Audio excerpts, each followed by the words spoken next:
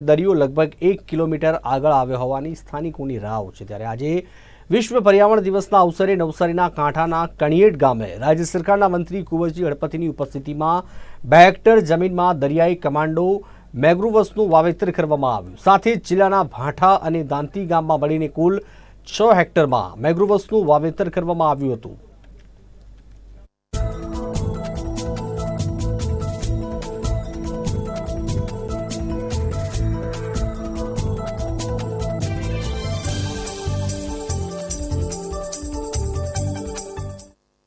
આજે ગુજરાત સરકારના વિશ્વ પર્યાવરણ દિનના ભાગરૂપે નવસારીના જલાલપુર તાલુકામાં આજે હું અહીં આવ્યો હતો.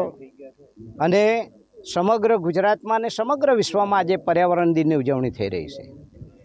ગુજરાત સરકારનો પણ એક અભિગમ છે કે દરિયાકાંઠાઓના વિસ્તારોમાં રહેતા ટંડેલ લોકો છે એ જ્યારે પોતે પોતાનું જીવન નિર્વાહ માટે પરિવાર છોડીને જ્યારે સમુદ્ર ખેડવા જતો હોય ત્યારે એ સમુદ્રમાંથી પરત સારી રીતે હેમખેમ બહાર કઈ રીતે આવે? એના માટે જો કોઈક સારામાં સારું કોઈ એનું જતન કરવું હોય, એવું વૃક્ષ હોય, બચાવી શકે ને સુનામીમાંથી, તો તે ચેરનું વૃક્ષ છે. અને એટલા માટે અમે સમુદ્ર કિનારે ચેરનું વૃક્ષનું વાવેતર કર્યું છે. અને આને કારણે આપણે વિશ્વની અંદર ચેરની જો વાવેતર વધુમાં વધુ કરીશું તો આજે ગુજરાત નંબર બે પર છે. તો આવનારા દિવસોમાં નંબર એક પર આવશે એવી ભાવના સાથે અમે આજે કાર્યક્રમ કર્યો